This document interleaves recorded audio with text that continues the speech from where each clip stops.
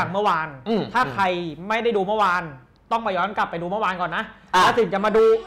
อ่า ต้องไปดูใน YouTube นะเราถึงมาดูอันนี้ใช่เขาต้องบอกก่อนเลยว่านะฮะศาสตร์ของเรื่องราวหูเนี่ย ผมบอกเลยว่ายิคู่คนบอกเล่นยาก ยากมาก ยากนัก ยากหนา แต่ผมบอกเลยว่าในกลุ่มคนที่สนใจจริง ๆอะคุณเชื่อไหมคนไม่ได้เป็นเซียน รู้เรื่องกะลามากกว่าคนเป็นเซียน อืมมันเป็นเรื่องแปลกอย่างหนึ่ง ใช่ ผมบอกเลยว่า อ่า อย่างเรื่องของกะลา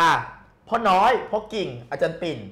ผมไม่พูดถึงหลวงพ่อจืดและหลวงพ่อพุธครับเพราะพ่อจืดพ่อพุธเนี่ยมีสายตรงอยู่แล้วครับ สายตรงคือไม่ว่าจะเป็น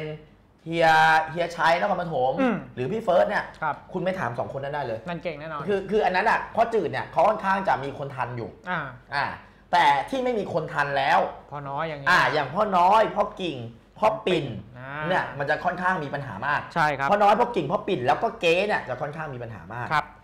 แต่ผมแปลกใจอย่างหนึ่งผมเอากะลาเนี่ยนะฮะไปให้คนที่ไม่ได้ชื่อว่าเป็นเซียน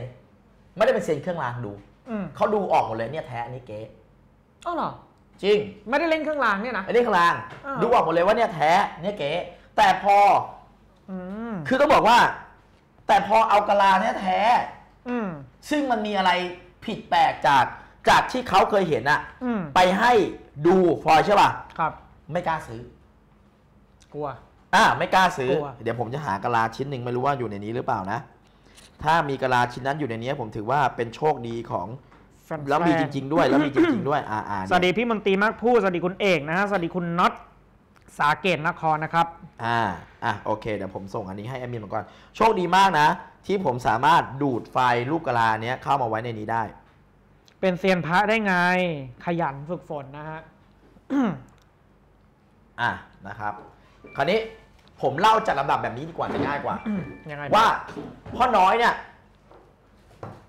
เก่งยังไงอืมพ่อกิ่งเก่งยังไง อาจารย์ปิ่นเก่งยังไงก่อนอืมเพื่อนจะเข้าใจผมจะพูดถึงสามหลวงพ่อแล้วก็มาแยกลายมือให้ฟังครับนะฮะพ่อน้อยเนี่ยนะครับ อย่างที่ผมเล่าไปเมื่อวานอืมในยุคนั้นวัดศรีสาทองโด่งดังมากใช่ใน ภาคกลางครับในปริมณฑลเอาว่าดังกว่าพะเนียงวัดพะเนียงแตกครับดังกว่าวัดธรรมศาลา ดังไม่ได้แพ้วัดกลางบางแก้วอือฮึด้วยศาสตร์ของวิชาสะเดาะเคราะห์กลับดวงชะตา เสริมดวงชะตา ที่วัดอื่นๆทำไม่ได้ครับ ไม่ว่าจะเป็นคนจีน คนไทย คนลาว นับถือหมดใช่อ่านับถือหมดนะครับพ่อน้อยทำโคสุภราชครับซึ่งเป็นศาสตร์ที่ไม่ใช่ว่าใครก็จะทำได้ คืออมวัวธนูเนี่ย อืมอ่านะครับ คือวัวธนูเนี่ยแต่มีอันนึงคือโคสุภราช วิชาที่คือคนจะทำของพวกนี้ได้สมาธิต้องแก่กล้าใช่ คือทำตามสูตรอาถรรพ์โบราณเอาตานก ทะเลนกกรดเนี่ยที่เป็นสีแดงเนี่ยอ่ามาทำตาวัวอืมซึ่งน้อยคนที่จะทำได้ แต่ในตำราเขียนไว้ยังมีอืมแต่คนจะทำได้อะไม่มีอืมพ่อน้อยเนี่ยทำได้และทำสำเร็จครับนะครับ ก็ต้องบอกว่าพ่อน้อยเนี่ยเก่งไงเรารู้แล้วไม่งั้นกะลาท่านไม่อันเป็นหลายหลายๆแสนหรือเป็นล้านหรอกใช่อ่าแต่พอถัดจากพ่อน้อยมา ก็ลูกศิษย์ที่พ่อน้อยครอบครูให้ก็คือหลวงพ่อกิ่งวัดโพเลี้ยวอืม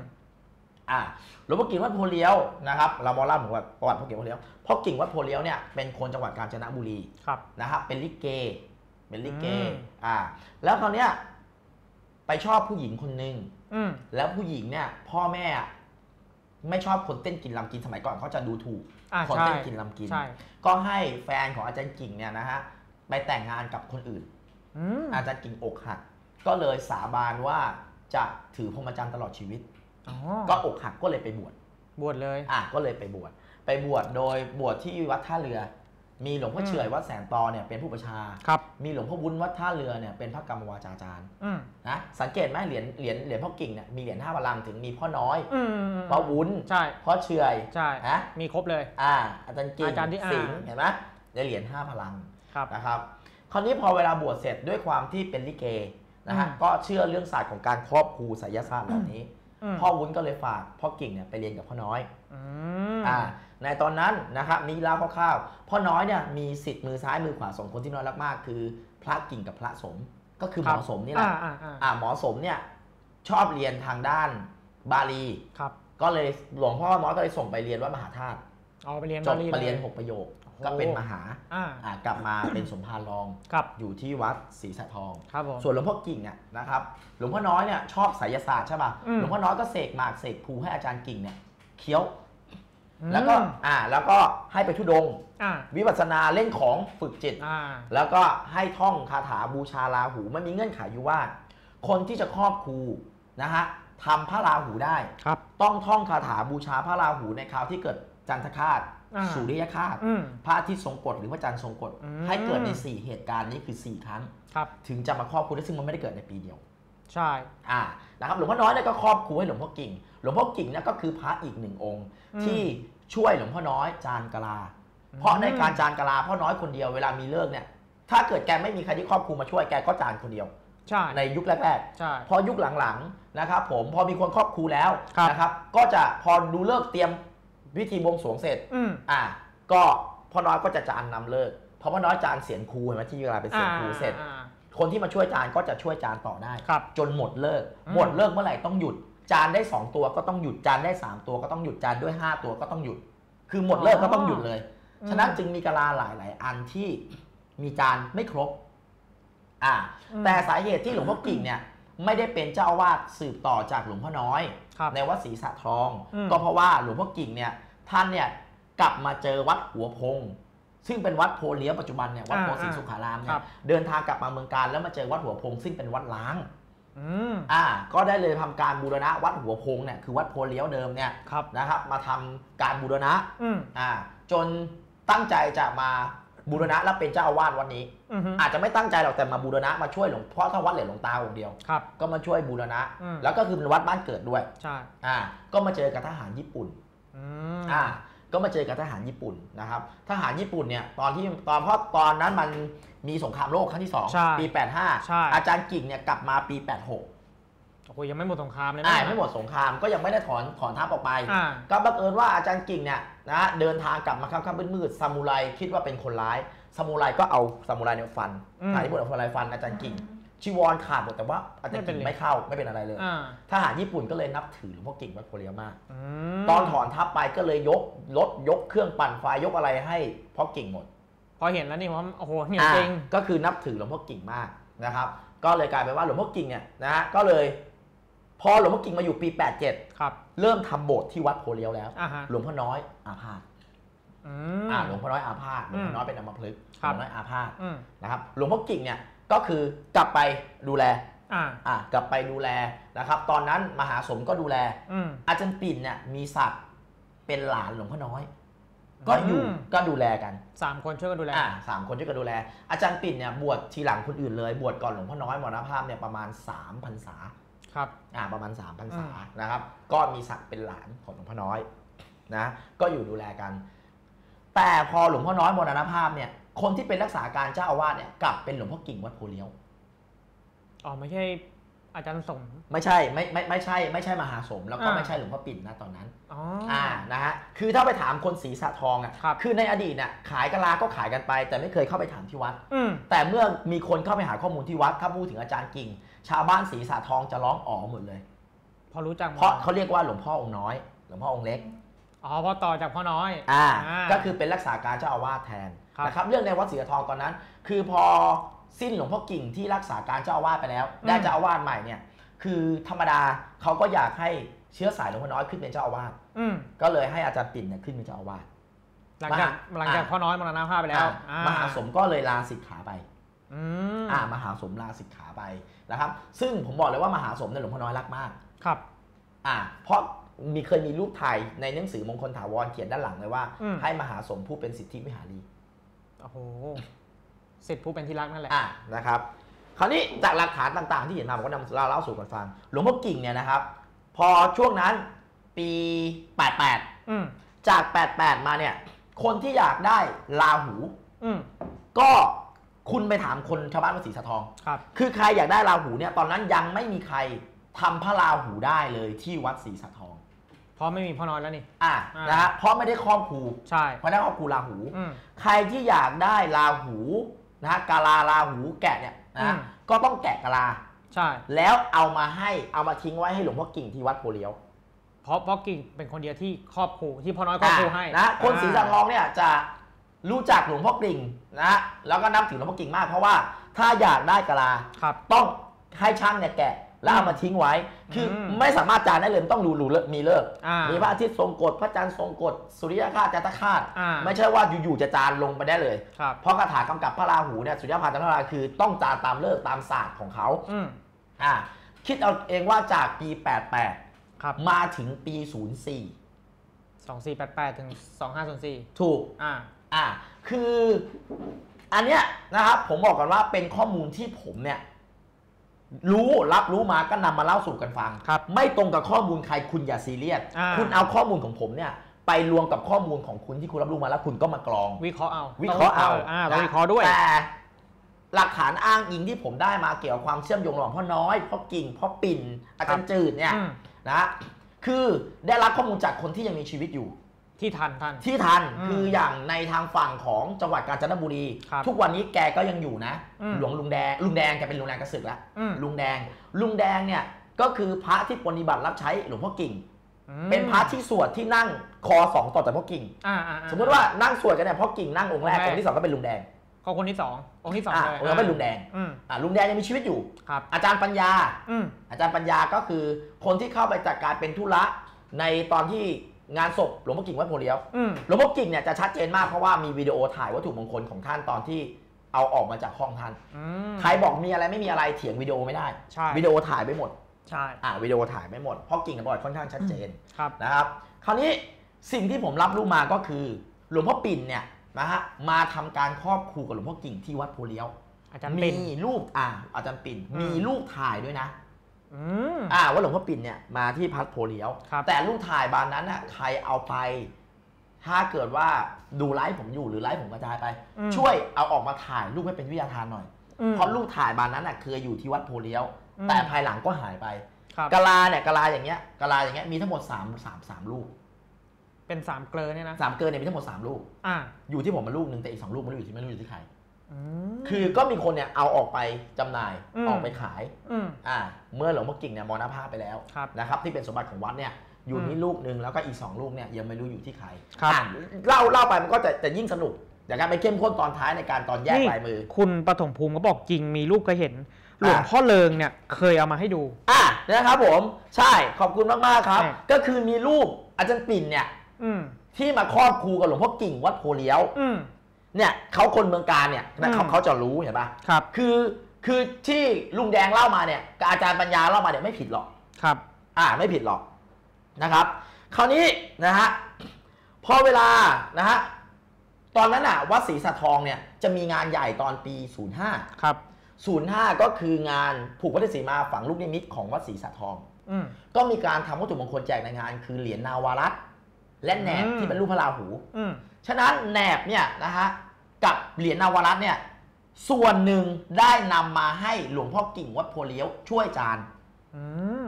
อ่าช่วยจานอืมนะครับอันนี้ชัดเจนหลวงพ่อกิ่งเนี่ยจานทั้งในแหนบและจานทั้งในเหรียญนาวารัต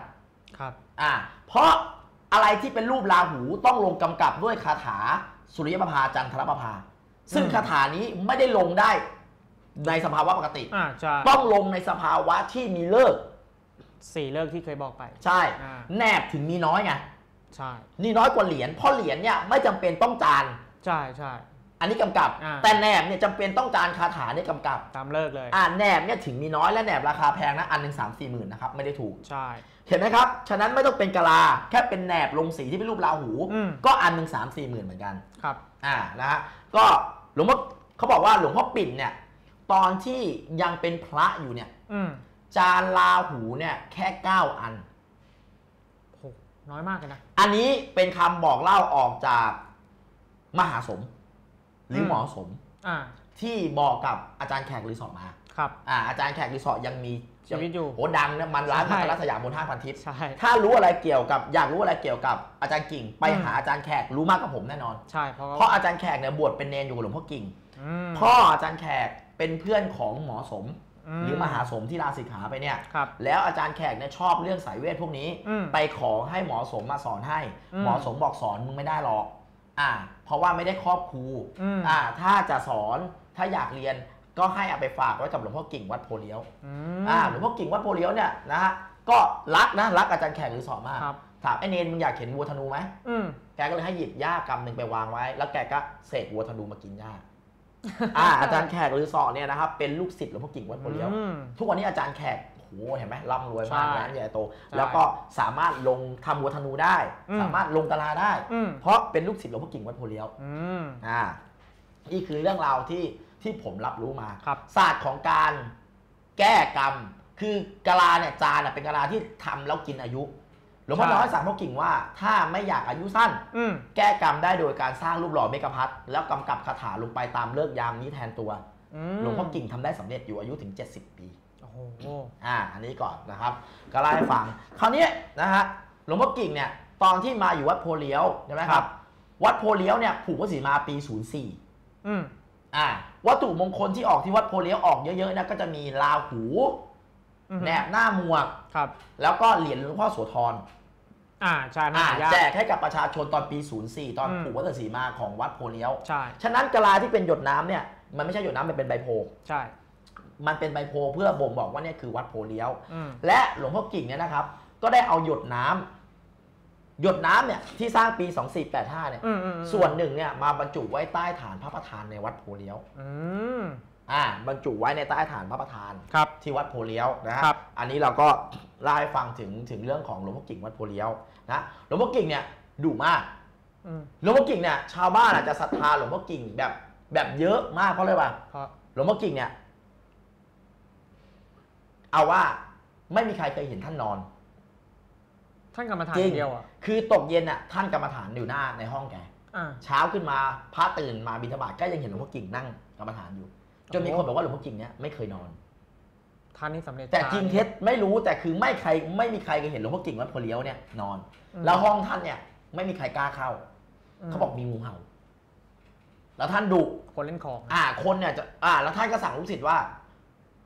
ตื่นเช้ามา มันจะเป็นช่วงที่จิตว่างอืมของเนี่ยจะเข้าตัวได้ อืมอ่า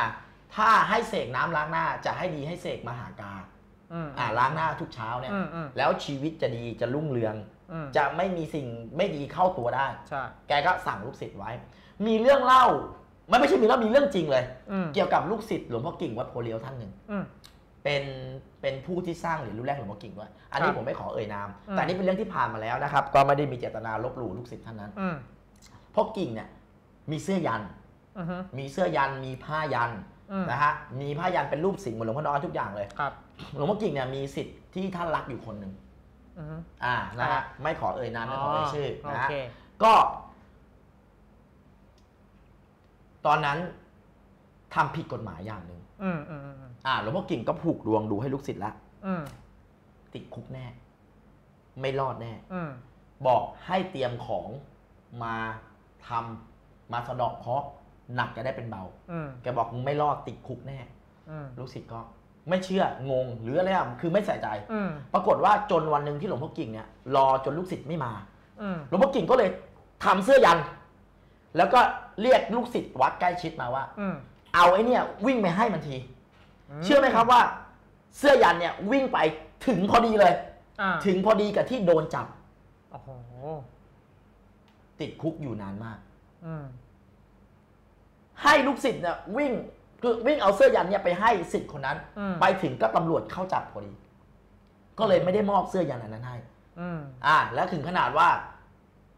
แบบมีการลองของกันเนี่ย อืมอืมอืมหลวงพ่อกิ่งเนี่ยเอาปืนมา อืมแล้วจานคาถาให้ไป จานคาถาไปในปืน อืมอันไหนว่าเหนียวเหนียวๆยิงกระจายหมดอะสุด อ่า นี่คือเรื่องเกี่ยวกับหลวงพ่อกิ่งวัดโพเลี้ยวที่ชาวบ้านนะฮะ ท่าม่วงเนี่ยนับถือมากครับนะครับ คราวนี้ก็ตอนที่หลวงพ่อกิ่งมรณภาพที่เมื่อวานผมเล่าให้ฟังอ่านะครับ แกก็สั่งว่าให้น้องชายเป็นคนจุดศพอืมแล้วน้องชายมาช้าเขาอยู่ต่างจังหวัดคนอื่นจุดไม่ติดจุดไม่ได้ใครก็จุดไม่ติดไม่ได้จุดเท่าไหร่ก็จุดไม่ติดต้องรอจนน้องชายเข้ามาอืมพอน้องชายท่านจุดปุ๊บจุดติด พอเวลาเอาไฟจี้เข้าไปตรงที่ตรงที่ศพท่านจะจุดศพอ่าปรากฏว่าต้นสะเดาต้นใหญ่ในวัดอืมไม่มีลมไม่มีฝนเกิดผ่าซีก แตกหักแตกอืมชาวบ้านเห็นตกใจอืมนึกก็คิดว่าพาพากันแห่ไปตัดเอากิ่งสะเดาเนี่ยกลับบ้านอืมอืมฉะนั้นถ้าใครเจอไม้สะเดาอยู่ตามบ้านชาวบ้านไม่ต้องตกใจ นั่นคือต้นสะเดาในวัดโพเลี้ยวออืมอ่าตอนมันเผาอ่าเราวันเผาหลวงพ่อกิ่งเนี่ยเขาจะเขียนกรของทั้งหมดว่าท่านทำอะไรไปบ้างในชีวิตที่วัดโพเลี้ยวเขาเรียกกรกันแกอืมเรียกแทนตัวเองว่ากันอือ่ามสาเหตุที่หลวงพ่อกิ่งมรณภาพเนี่ยคือท่านอาพาธ ครับแล้วไปโรงพยาบาล หมอเนี่ยเข็มฉีดยาเนี่ยเป็นสิบเล่ม แทงไม่เข้า แทงไม่เข้าอืมไม่สามารถฉีดยาให้หลวงพ่อกิ่งได้อืมอ่า ก็แล้วท่านก็ไม่อยากอยู่โรงพยาบาลอืมเพราะท่านไม่ชอบพยาบาลมคือท่านอะไม่ไม่แต่เนี้ยต้องตัวผู้หญิง อ่าอ่าอ่าอ่านะครับอืมท่านก็เลยกลับมาที่วัดแล้วก็ได้แต่ฉันยาอย่างเดียวอืมนะท่านก็แล้วท่านก็บอกว่าเมื่อหมดกรรมก็ต้องไป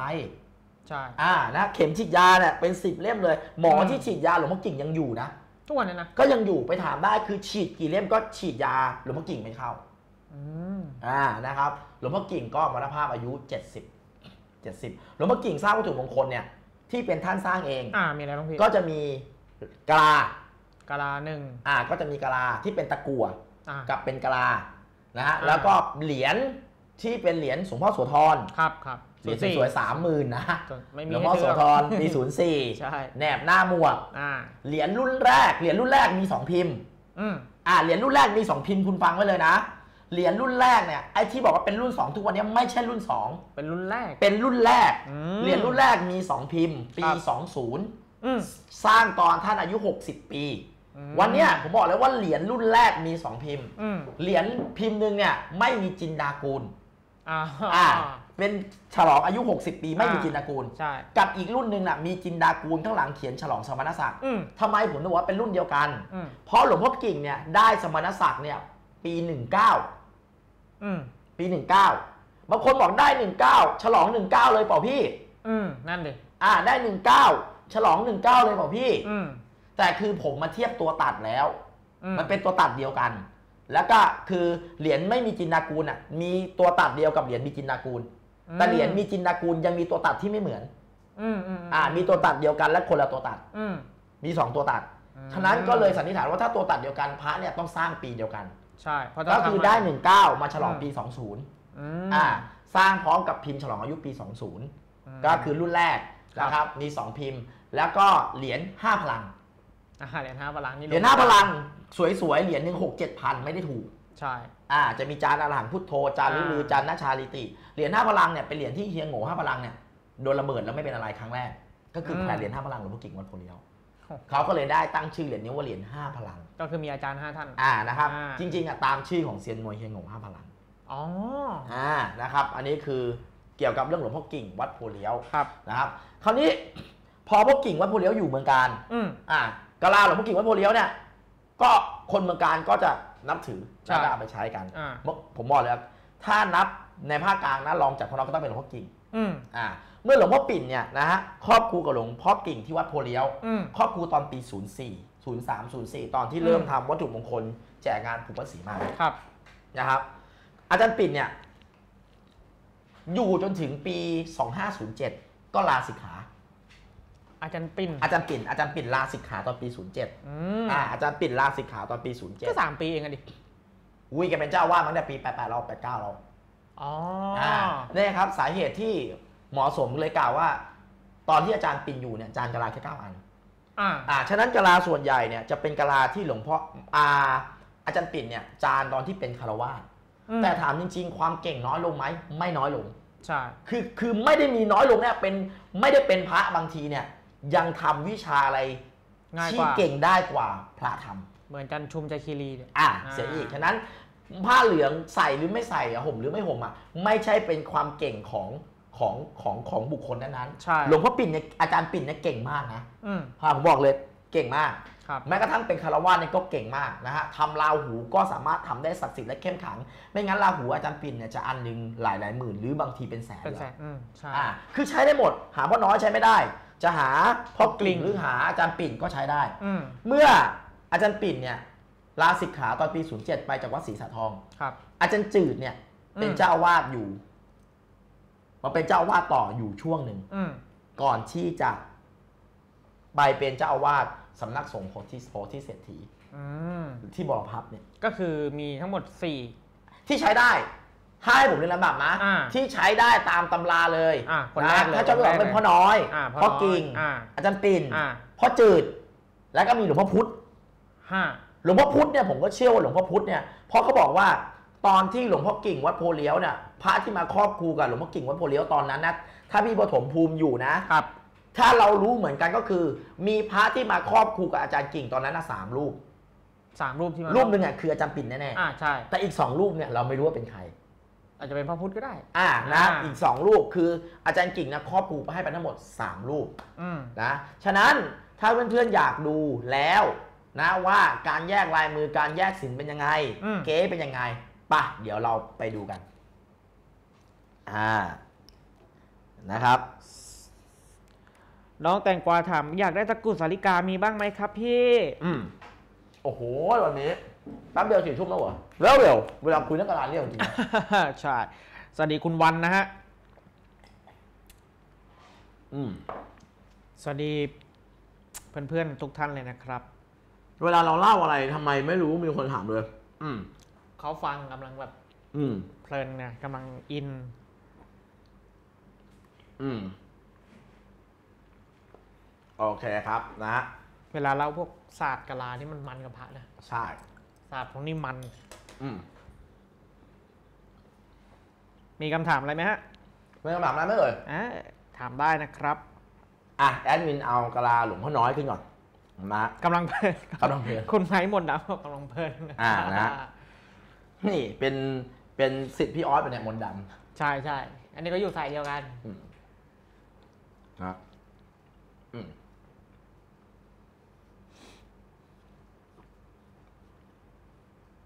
แต่ไม่ต้องกลัวครับ คนที่รอแบ่งวัตถุมงคลวันนี้วัตถุมงคลเพียบเลย ใช่ อะ อ่าอันนี้เป็ที่ไหก็คือ อันนี้เป็นที่ไหนก่อนนี่คือหลวงพ่อน้อย อันนี้คือพ่อน้อยเลย อันนี้หลวงพ่อน้อย อ่า คือเวลาเราดูลายมือหลวงพ่อน้อยเนี่ย ให้คุณสังเกตนะ ตัวมะ คือตรงไหน เออ ตัวมะเนี่ยจะมีลักษณะคล้ายกับสอฤาษี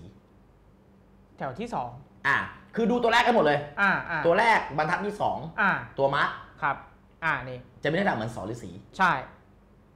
ใช่ป่ะอืมเหมือนสอฤาษีอืมและ แถวที่สี่ตัวแรก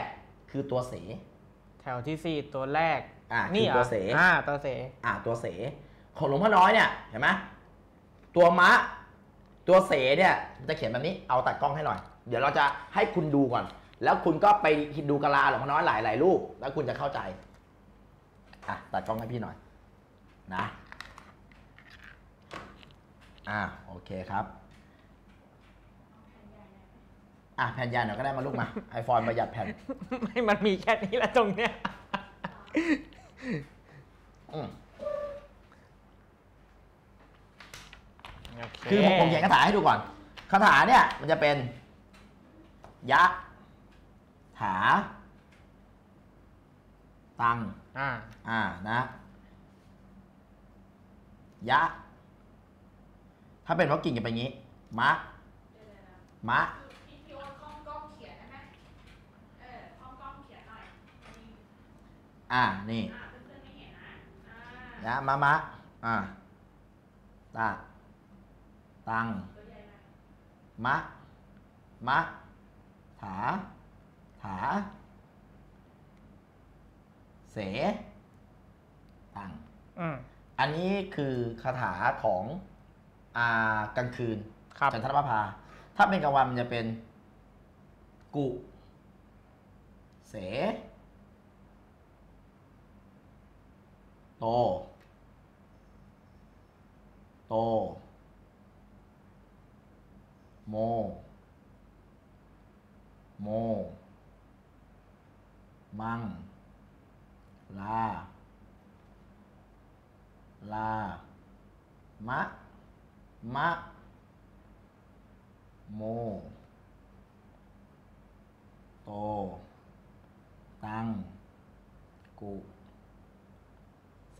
อืมอันนี้ไม่อันนี้คือคาถา อันนี้กลางวันกลางคืนอ่านะครับลายมือผมก็คงจะไม่เหมือนลายมือหลายอ่าอาจารย์ใช่แต่นี่คือเป็นนี่ที่ผมเขียนนี่คือเป็นลายมือหลวงพ่อกินครับ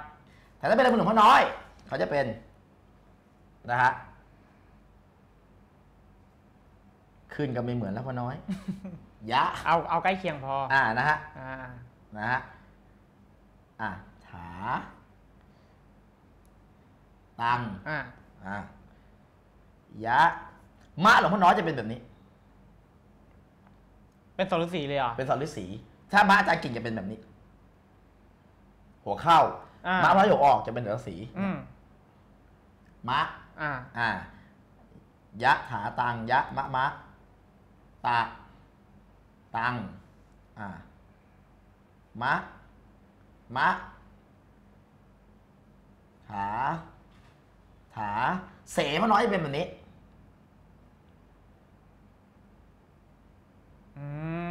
เสลงมาน้อยอะแกจะเขียนแบบอย่างนี้ก่อนฟึบแล้วก็อีกตัวเสอ่า แล้วก็ตังนี่คือพ่อน้อย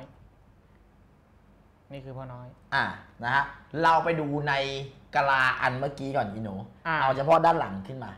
ว่าเหมือนไหมว่ามันเหมือนแบบนี้ไหมอ่ากระถาตัวเดียวกันไหมอืมมีสายเหนียวมีใช่ให้คครัรับบอันนี้ไม่ต้องกลัวเลย อะ ปิดตาลุงบูดีมีเนื้อสำลิดใหม่ หวีครับอืม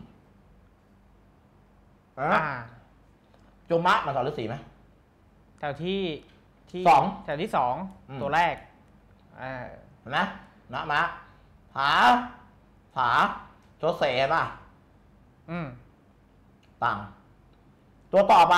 มันจบหมดแล้วนะ ตัวต่อไปเหมือนกับเขาเลยขึ้น ไม่ต้องมองเลย กู เส โต โต โมของเราเป็น เพราะโมตัวม้าเขียนอย่างนี้ใช่ไหมใช่ ตัวโมก็จะเขียนมาสอสีเหมือนกัน โม อ่าเห็นไหมผมไม่ได้มองเลยเพราะว่า ผมผมชอบฝึกเขียนในมือ โม มัง ลา ลา มะ มะ โม โต ตัง กุเสเป็นงี้ อ่า เหมือนข้างในไหมเหมือน เพื่อนๆลองดูนะฮะเอาเพื่อนๆลองดูไปพร้อมไอ้ลายมือกันผนะมมันเขียนยังไงมันก็ไม่เหมือนลายมือของเขาหรอกอ่าให้ดูแต่ลักษณะอักขระการเขียนเนี่ยเห็นไหมอ่าไม่ว่าจะเป็นตัวมะหรือว่าเป็นตัวเสเห็นไหมอืมเห็นไหมของมันน้อยเขียนอย่างนี้ครับไอ้มินเอาของหลวงพ่อกิ่งขึ้น เพื่อนๆลองดูไปพร้อมกันนะฮะแล้วอะลองดูบนกะลากับที่พี่โอ๊ตเขียนอะเราก็จะรู้ว่า ถ้าดูพ่อน้อย ดูตัวไม้เป็นสอนฤาษีอืมดูตัวเสให้เป็นแบบนี้ อืมอ่าอ่าเดี๋ยวเดี๋ยวเอากะลาพ่อน้อยขึ้นอีกอันดีกว่า อืมเทียบให้ดูอีกอันหนึ่งอ่าเทียบอีกอันหนึ่งที่ไม่ใช่อันนี้ เป็นอันเลี่ยมทองล้อมเพชรก็ได้อ่านะครับ ใช่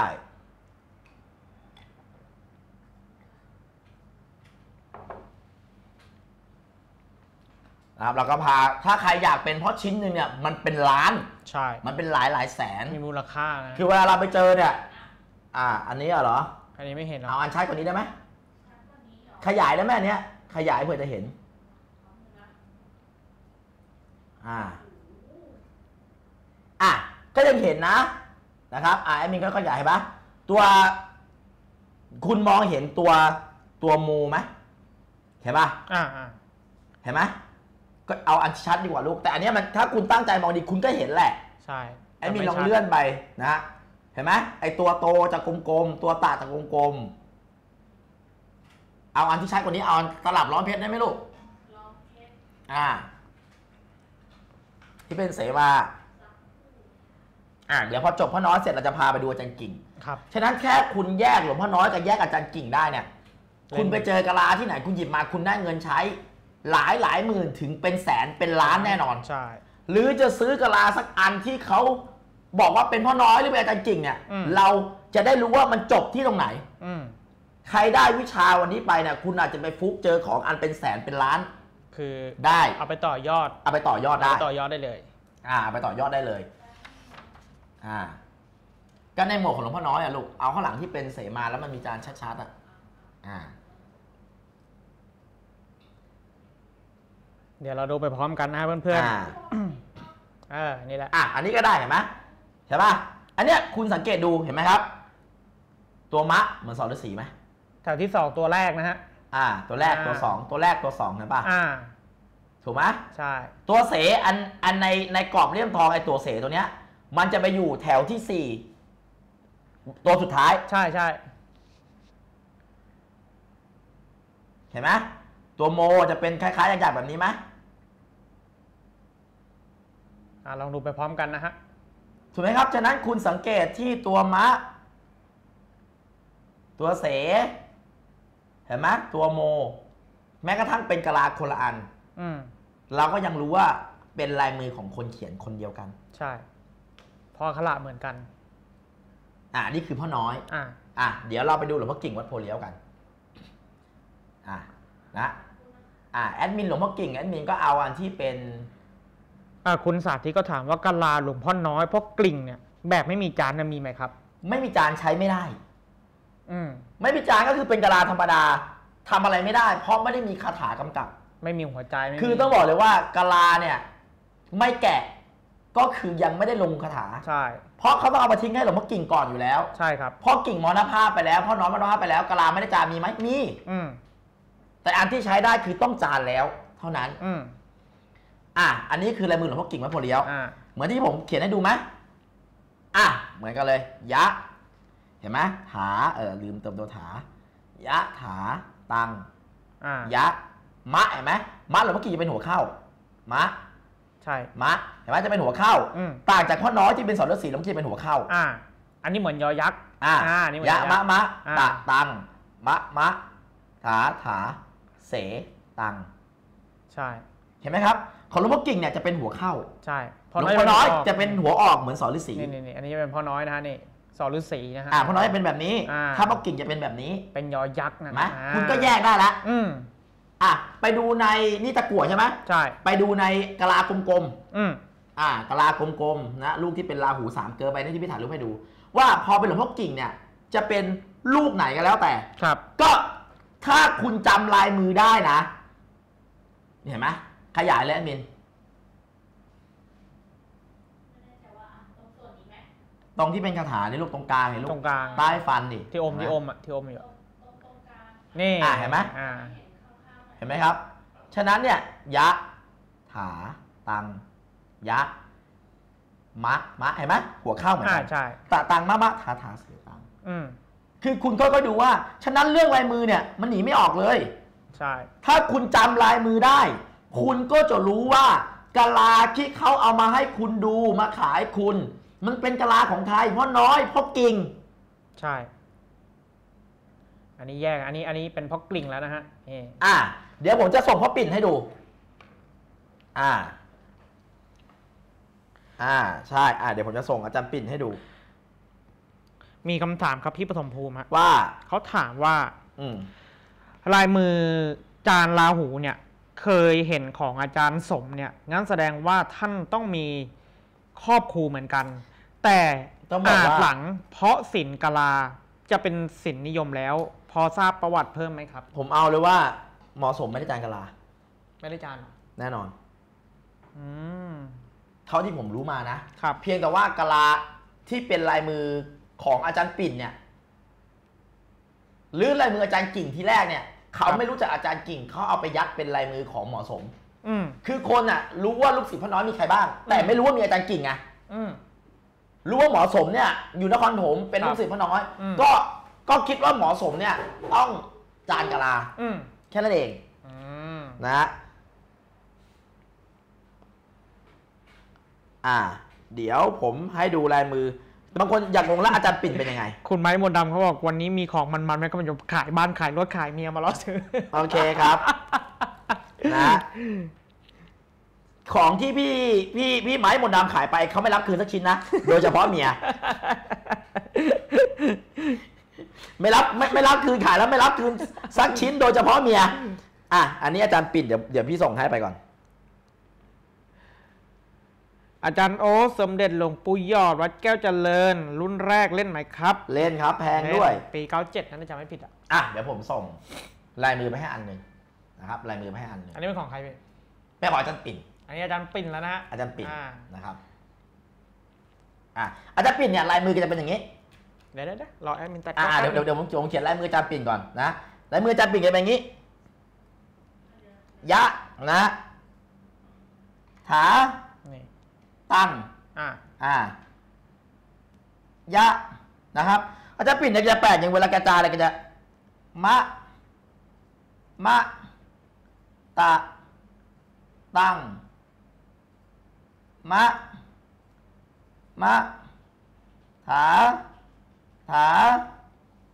เนี่ย คือลายมือแกจะเป็นอย่างเงี้ย แกเขียนวัดเลยนะ ชูก็จะเขียนวันเลยนะฮะ ก็คือถ้าลายมืออาจารย์ปิ่นเนี่ยก็จะเป็นแบบหวัดหวัดๆเหลี่ยมอืมไม่มีหัวไม่ๆต้องอ่าอ่าตัวตัวลาหลวงพ่อน้อยเป็นอย่างนี้ ใช่ ตัวลาอาจารย์กิ่งเป็นอย่างนี้ค่อนข้างจะเรียบร้อย อ่าตัวลาอาจารย์ปิ่นเป็นอย่างนี้เลย ขึ้นเลยวัดปุ๊บ เป็นอย่างนี้เลยตัวลาอาจารย์ปิ่นจะเป็นอย่างนี้เลย เป็นตัวลื้อเหรอ อ่า เป็นตัวลื้อแต่งที่มหาวลาอ๋อแกจะเขียนอย่างนี้ตราเขียนเห็นไหมคุณสังเกตหรือเปล่าว่าลายมืออาจารย์ปิ่นจะเป็นเหลี่ยม อ่าใช่ใช่คือเขียนวัดเลย อ่า แล้วมืออาจารย์ปิ่นเนี่ยจะจำง่ายก็จะแยกจากลายมือคนอื่นไปเลย อ่า ก็คือลายมืออาจารย์ปิ่นจะเป็นเหลี่ยมอืมอืมอืมๆจะไม่กลม ใช่ เป็นเหลี่ยมวัดไปเลย อ่า วันเนี้ยคุณได้ไปสามลายมืออืมพ่อน้อย อาจารย์อาจารย์กิ่ง พ่อปิ่นนะ อาจารย์ปิ่น อ่า อาจารย์ปิ่นเนี่ยลายมือแกจะเหลี่ยมครับๆคุณไม่ต้องงงเลยลายมืออาจารย์ปิ่นเล่นง่ายสุด ใช่เพราะเป็นเหลี่ยมหมดเลย เป็นเหลี่ยม จะไม่กลม ใช่ ถ้ากลมเป็นอาจารย์กิ่ง แล้วก็ต้องมาแยกด้วยอ่าว่าน้อยไหกลมเนี่ยจะไม่พอน้อยจะถามว่าทำไมหลวงพ่อกิ่งกับหลวงพ่อน้อยลายมือถึงคล้ายกัน ก็เหมือนคุณเป็นเด็กนักเรียนอืม คุณไปเรียนครูคุณเขียนกอไก่แบบไหน คุณก็อยากจะเรียนให้เรียนคล้ายของครูของคุณ ต้องให้สวยเหมือนกัน ต้องให้สวยเหมือนของอาจารย์อ่าฉะนั้นหลวงพ่อกิ่งเนี่ยใกล้ชิดหลวงพ่อน้อยมากอืมฉะนั้นเวลาพ่อกิ่งเขียนหนังสือเนี่ยลายมือก็เลยตัวกลมคล้ายๆ ของหลวงพ่อน้อย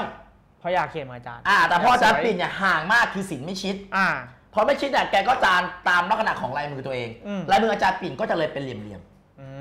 มพ่อน้อยเขียนสวย อาจารย์กลิ่งเขียนสวยๆ อ่าอาจารย์ปิ่นจะเป็นเหลี่ยมอ่ามหาปิ่นเป็นเหลี่ยมไปเลยอ่าจำเดี๋ยวพรุ่งนี้เรามาต่อกันอ่าเรื่องนี้ก็คือให้ไว้วันละ เท่านี้เท่านี้เท่านี้อันนี้ดูนะฮะตัดกล้องมาก่อนให้ดูอีกทีให้ดูอีกทีอะอ่าเพราะกิ่งแบบนี้นี่พ่อกิ่งพ่อน้อยแบบนี้พ่อน้อยอย่างนี้นะฮะอาจารย์ปิ่นแบบนี้เลยอาจารย์ปิ่นเป็นเหลี่ยมไปเหลี่ยมเลเลยยนี่โหวันนี้สามลายมือนะสามลายมือก่อนเอาไปนั่งดูกะลาบนหิ้งพระตัวเองก่อนอ่าเอาไปเปิดใน Google ดูก่อนว่ากะลาแต่ละอันเนี่ยลายมือมันเข้าเหมือนที่ผมบอกวันนี้ไหม แล้วคุณก็จะดูลาหูได้อ่านะครับอะโอเค ฉะนั้นเดี๋ยวพรุ่งนี้ EP สาม EP สาม EP สาม EP สามเนี่ยมันจะมีช็อต advance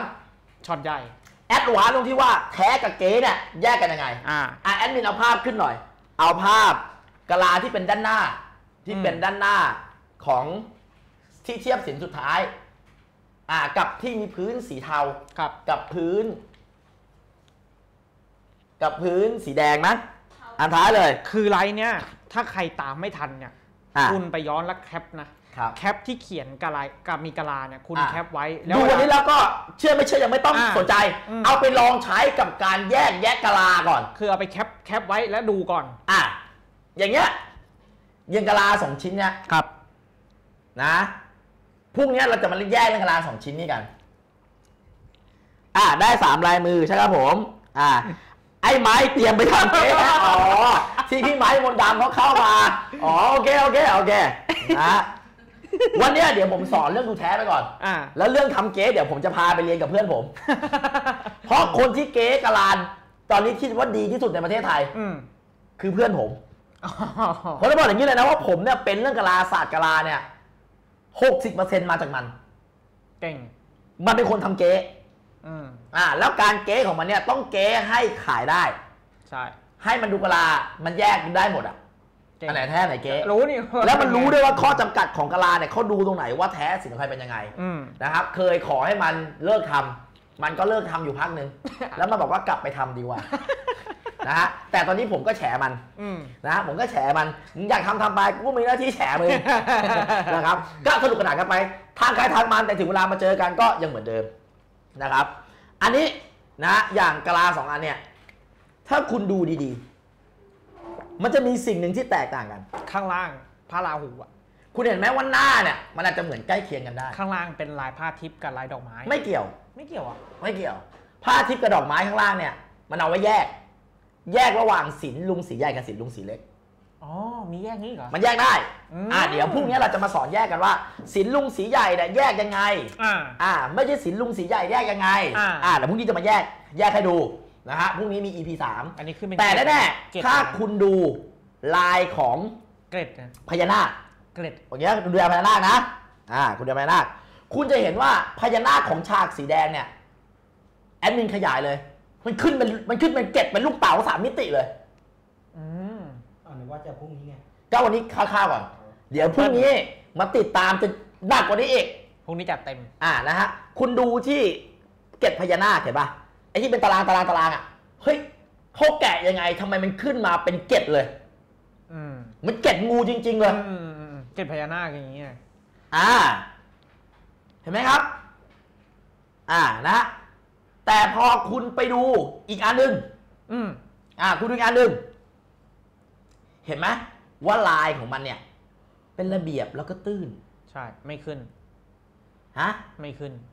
คือลายไม่ขึ้นเป็นอะ เป็นเป็นมิติเป็นสามมิติ อ่าแอดมินจะค่อยๆเลื่อนขึ้นเห็นไหมลายมันเนี่ย จะเป็นระเบียบเลย ไม่ขึ้นเป็นมิติ ใช่ แล้วเทียบแทบจะเท่ากันทุกอันเลยนะ อ่า เห็นไหมเป็นระเบียบเรียบร้อย อืม ไม่ขึ้นเป็นเกล็ดเป็นมิติอืมใช่ เออ เออแปลกเพราะอะไรมันมีที่มาที่ไป เดี๋ยวรอพรุ่งนี้เดี๋ยวไปรอพรุ่งนี้ รอพรุ่งนี้ อ่าถ้าอยากดูแยกแยะอะไรเนี่ยเดี๋ยวไปรอพรุ่งนี้รอพรุ่งนี้านะครับ คือจริงๆผมบอกเลยว่าเรื่องของกะลาเนี่ย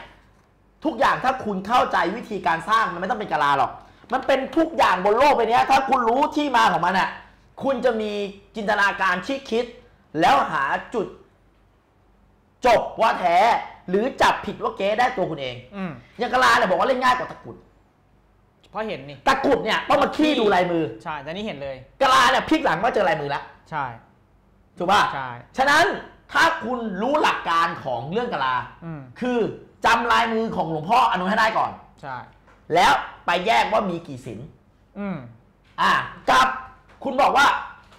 สินเดียวมีหลายลายมือ อืมมันยากกว่าที่จำลายมือแล้วไปแยกหลายสินไหม ใช่อะยากกว่า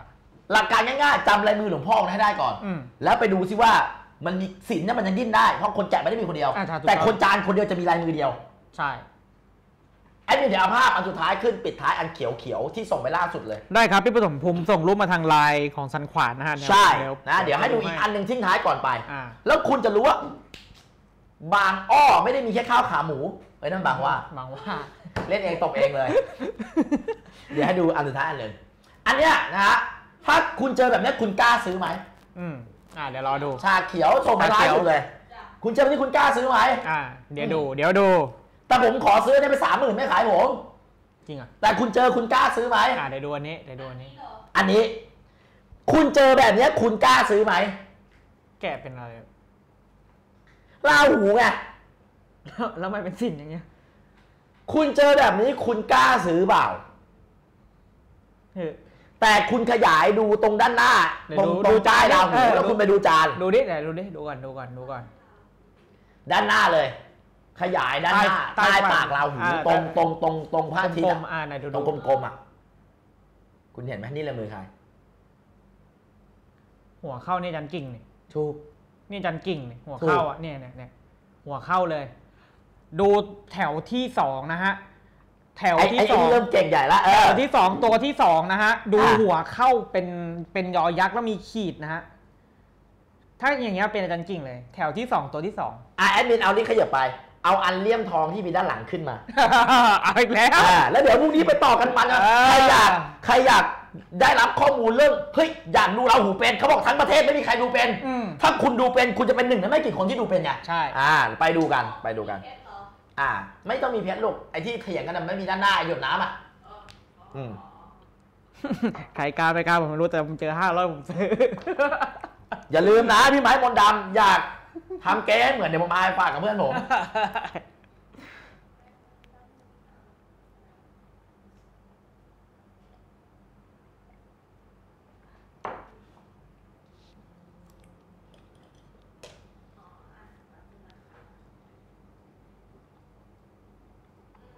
เห็นไหมเหมือนไหม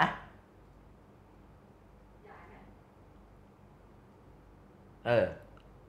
เห็นปะคุณมองอันเนี้ยคุณยังรู้เลยว่า เนี่ย เห็นไหมมันเป็นลายมืออันเดียวกันอืมอืมใช่ แถวที่สามตัวที่สองอะแถวที่สามทั้งแถวเลย โอเค พอแล้วพอแล้วเดี๋ยวพรุ่งนี้พรุ่งนี้ไม่รออ่าอยากรู้เดี๋ยวผมมา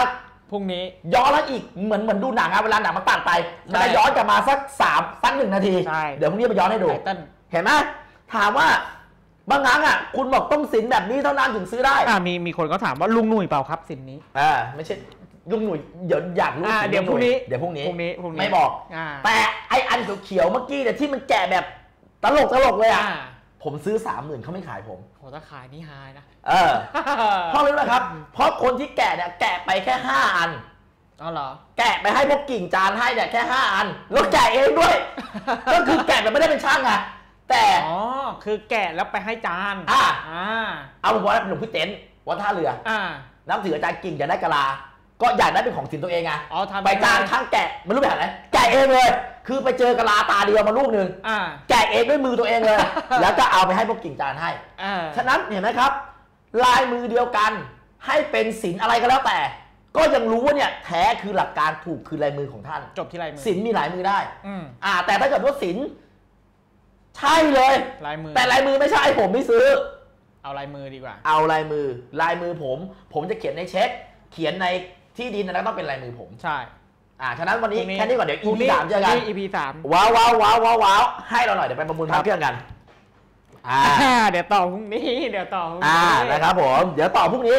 คือนั่งดูรายการสันขวานต่อไปเนี้ย มันก็จะมีอะไรแบบเนี้ย ใช่ ให้คุณแบบดูได้ข้อมูลใหม่ ๆ ไปคิด เราไม่มีเจตนาที่จะไปทำอะไรให้สังคมวงการพระเครื่องมันปั่นป่วน อืม แต่ความจริงที่คุณเอาไปเนี่ย คุณก็เอาไปกองกับข้อมูลอื่น แล้วก็มาคั้นน้ำแล้วให้ไปตัวคุณเนี่ย ถ้า รู้เยอะๆ เหมือนคุณรู้จักคนเยอะๆ คุณจะเป็นผู้รอบรู้ ถูกต้อง แต่ถ้าคุณฟังอย่างเดียวคุณไม่ไม่แขวนขวายความรู้ใหม่ใช่ ๆ คุณจะเป็นผู้รอบรู้ได้ยังไงใช่ นะครับ ก็ถือว่ารายการเราเป็นช่องทางหนึ่งนะที่อธิบายให้คุณเอาข้อมูลรวบรวมแล้วไปนั่งกองไปนั่งคัด อืม ไปลื้อกะลาบ้านคุณมาปลายมือตรงกันในไลฟ์มาขายผมผมซื้อ ถูกต้อง ซื้อแน่นอน อืม คุณไปเจอร้านไหนแล้วแต่ถ้าลายมือใช่เหมือนที่ผมพูดเดี๋ยวพรุ่งนี้เรามาพูดเรื่องสีการแกะกัน อืมลุงสีเล็ก ลุงสีใหญ่ อืม ยุคต้น ช่างจีนแกะอ่าอ่าหรือว่าแกะพิเศษมีกี่อ่าชิ้น เดี๋ยวเรามาคุยกันพรุ่งนี้อ่านะครับอะถ้าใครชอบพิมพ์คำว่าชอบด้วยอืมอ่านะฮะแล้ววันนี้พระเยอะเลยใช่มันแน่นอน หน้าพระก็มันเพียบคอนเทนต์ก็มัน ใช่อ่านะฮะมันนะคุยอ่าเรื่องกะลาเลยวันนี้มันนะก็เขาบอกในประเทศไทยจบยากดูเป็นไม่กี่คน ถ้าคุณดูกะลาเป็น คุณก็จะคือหนึ่งในไม่กี่คนในประเทศไทยไงเออมันมันไม่มีห้องเรียนแบบเนี้ย อืม มันไม่มีเบสิกคือซื้อได้ขายไป ซื้อได้อืมขายไป มันไม่อืมมีเหมือนครูสอนอะครูบอกอ่า ทริกในการดูมันไม่มี อืม แต่ถ้าเป็นอะมันพวกนี้มัน